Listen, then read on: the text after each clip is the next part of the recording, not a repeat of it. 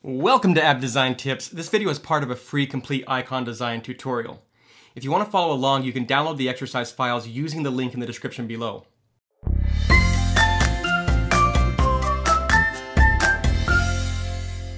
Now, this video is more of a bonus tip of how you can preview the toggling between these icons.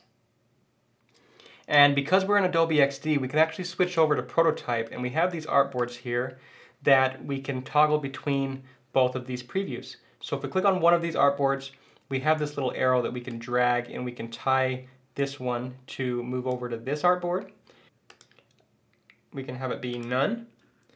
And then we want to click on this artboard, and when we tap on this artboard, we want to navigate here. And again, this animation is none. So let's do that real quick on each one of these artboards. Just move this back and forth like this just very easily link these up. And now we can open up this preview button.